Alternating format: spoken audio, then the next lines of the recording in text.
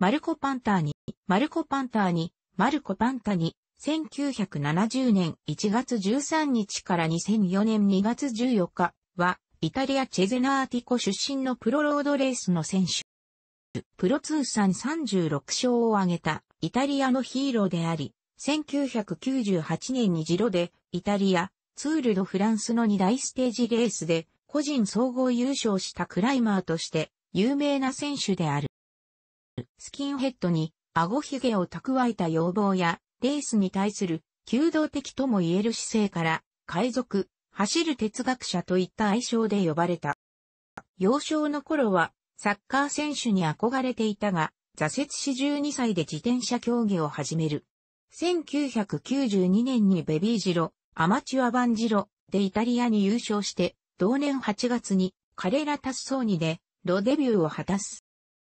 当初はなかなか勝てず、1993年のジロでイタリアでも犬猿でリタイアといった苦戦が続く。だが、翌年のジロ第14.1号ステージで連勝し、ミゲル・インドラインを抑えて、総合で2位。同年のツール・ド・フランスでも、個人総合3位に入り、最優秀若手選手賞、マイオブランを獲得。一躍、トップ選手の仲間入りを果たした。1995年のジロで、イタリア直前の5月1日、トレーニング中に、信号虫の車にはねられ無念の欠場。だがツール・ド・フランスでは、ラルプ・デュエズへの頂上ゴールが設定された第10、数字で優勝するなど、2勝。総合では13位に入り、2年連続でマイオブランを獲得したほか、10月に開かれた世界選手権でも3位に入る活躍を見せた。だが、その直後に開催されたミラノトリノにおいて、下りで加速している時にコースを逆走してきた車、警察が全選手が通過したと勘違いして、交通規制を解除したことが原因と正面と。左足の硬い骨が折れて、皮膚から飛び出す、大怪我を負い、選手生命の危機に直面する。そのため1996年のシーズンは、リハビリと回復のためのトレーニングに、丸々費やすこととなしまった。1997年は彼らに代わり、新しいスポンサーとなったメルカトーネウノのエースとして、春のフレーシュワロンネで5位、リエージュバストーニュリエージュで8位という好成績をめ、復活を期してジロでイタリアに臨んだが、第8ステージで前に飛び出してきた猫をかわそうとした選手たちの落ち車に巻き込まれてリタイアしてしまう不運に見舞われる。しかしツールドフランスでは、ラルプ・デュエズへの山頂ゴールが設定された第13ステージでは37分35秒という最短途半記録で優勝。2008年時点でこの記録は未だに破られていない。さらに第15ステージでも優勝し、総合3位、完全復活を遂げた。1998年には、選手生活の絶頂を迎え、ジロでイタリアでパベルトンコフと最終ステージまで首位争いを繰り広げながら念願の総合優勝を達成して山岳賞マリアベルデ元木獲得。ステージ2勝も達成した。さらにツールドフランスでも終盤の第15ステージのガリビエ峠で、前を上ヌを切るヤンウルリッヒに対してアタックを仕掛け、逆転に成功。総合優勝を飾り、2大グランツールを制覇。史上7人目となるダブルツールを達成する偉業を達成した。ツールでのイタリア選手の優勝は、フェリーチェ・ジモンディ以来3年ぶりであり、パリの表彰台ではジモンディも駆けつけ優勝を祝った。また、ツール最終ステージでは、優勝を祝して、チームメイト全員が髪をイエローに染めて登場した。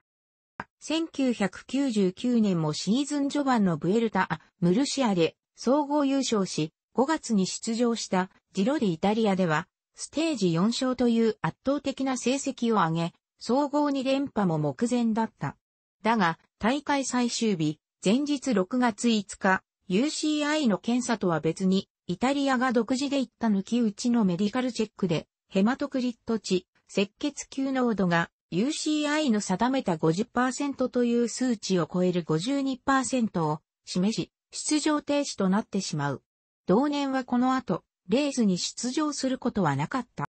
そして2000年のジロでイタリアで復帰。総合優勝を遂げたステファノ・ガルゼッリのアシストを積極的に務め、自分も総合28位に入り、復活をアピールした。しかしツールド・フランスでは、ランス・アームストロングの前に苦戦。それでも、南方門バントがゴールに設定された第11ステージで、アームストロングとの一騎打ちを制して有するなどの見せ場を作り、ステージに賞を挙げるが、結局途中棄権。シドニーオリンピックでも69位に沈んだ。追い打ちをかけるように、翌2001年には、ドーピング疑惑が再燃。本人は一貫して薬物の使用を否定するも、UCI から2003年3月までのレース、出場停止処分を受けることになった。出場停止処分が明けた2003年のジロで、イタリアでは総合14位に入り、ツールドフランスへの出場にも意欲を見せたが、突如、チームメイトたちの前から姿を消す。結局この年は再びレースに参加することはなかった。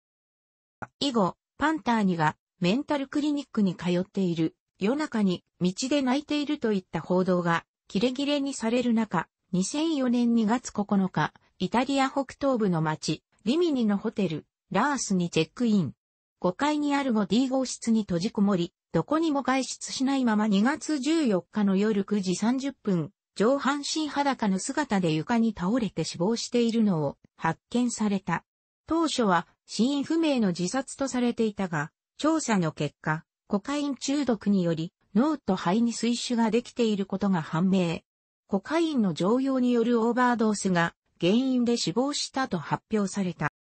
自転車競技会からは才能を、家族からは財産を絞り取られ、マスコミに追い立てられて神経衰弱とコカインに蝕まれた挙句、頼れるものもなく孤独な死を遂げた悲劇のヒーローともことる彼の死は大きな波紋を呼び、生まれ故郷のチェゼナーティコで営まれた葬儀には、著名選手らのほか、ファン数千人が参列した。現在も、イタリアで彼の人気は絶大であり、ジロでイタリアでは、2004年から、チマパンターニ、パンターニの山、中、チマシーマはイタリア語で、山頂の意を設定。彼に、縁の深い山をコースに組み込むようになっているほか、コース途中などに彼の功績を称える像やイラスト、横断幕などが多数設置されている。イタリア国内のみならず、フランスのリビエ、峠北側にまである。また、チェゼナーティコでは、彼の名を冠したレース、メモリアルマルコ・パンターニが2004年から毎年開催されている。また、ドキュメンタリー映画、パンターニ、海賊と呼ばれたサイクリスト、監督、ジェームス・エルスキン、日本公開は2015年11月28日が制作されている。2014年8月2日、リミニ検察庁は殺人だった疑いがあるとして彼の死についての再捜査を決定した。一般にヘマトクリット値、赤血球濃度が非常に高い場合、激しい運動により水分を失うと血栓ができて血管が詰まりやすくなり、命の危険がある。そのため1999年の出場停止処分は、あくまでもパンターニの安全を確保するため、という名目で取られた装置であった。ただ、パンターニの場合は、初回の検査時にヘマトクリット値が規定より高かったことよりも、再検査において数値が当初の52%から48%と47.6%まで急激に下がっていたことが問題視された。ヘマトクリット値は肥料が蓄積した場合でも高まるが、その場合は短時間で数値の大きな変動はないことから、ドーピングを行っていた可能性が高いと判断され、裁判となった。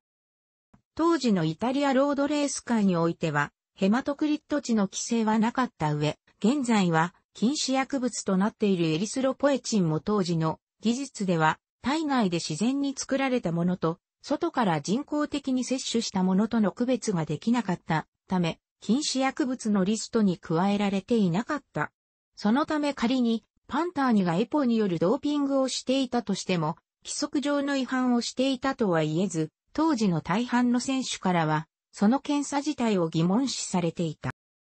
そのため1999年の裁判も正確にはドーピング違反として追及することができず、薬を使ってまで勝ちたいのかというプロ選手としての姿勢を問う裁判であったが、結果としては証拠不十分で無罪となっており、2001年にドーピング疑惑が再燃した時も同様に裁判となったが、やはり無罪判決が出ている。しかし、上記のように UCI は2001年に彼に出場停止処分を課し、その当時、ロードレース界ではドーピング問題が深刻化していたことから、マスコミはこの問題を騒ぎ立てることになった。そしてマスコミが絶え間なく浴びせる後期の視線に、もともとマスコミ嫌いだったパンターには、不信感を高め、精神のバランスを崩していったと言われる。2013年7月24日、フランス上院のドーピング調査委員会は、総合優勝した1998年のツールド、フランスで採取した血液サンプルの再調査の結果を公表。ポイント賞のエリック・ザベルや、総合2位のヤン・ウルリッヒラと共に、エリスロポエチン、エポを使用していたことが明らかになった。最晩年、精神的に不安定だったパンターニの財産は家族の管理下に置かれており、彼は生活費とクレジットカード1枚を渡されていただけだった。パンターニが死んだ時、両親はバカンス旅行中で、彼の死を知ったのは2日後であった。彼はパスポートに遺書とも取れるいくつものメモを残していたが、そこには4年間、あらゆる裁判所に通う日々だった。血を取られないといけない職業が他にあるのか。僕のプイベートそしてキャリアが侵され、僕は多くのものを失ったといった悲痛な言葉が書き綴られていた。